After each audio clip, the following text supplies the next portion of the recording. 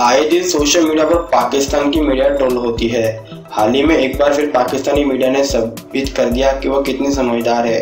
पूरी दुनिया इस बात से वाकिफ है कि पाकिस्तान की मौजूदा अर्थव्यवस्था की हालत क्या है। इसी सिलसिले में पाकिस्तान के एक मीडिया चैनल का एक लाइव शो अर्थव्यवस्था पर विशेष देश की हालत के बारे में चर्चा कर रहा था और चर्चा के दौरान विशेष जानी मानी फ़ोन कंपनी एप्पल का ज़िक्र हुआ। विधायकर एप्पल को फल यानी सेब समझ लेती है। एंकर ने इस जवाब के आगे सोशल मीडिया पर साइट ट्वीट कर खूब ट्रोल की जा रही है।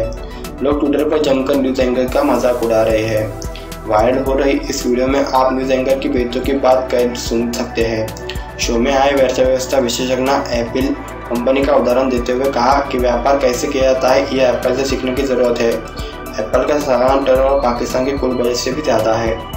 P M news twenty four की रिपोर्ट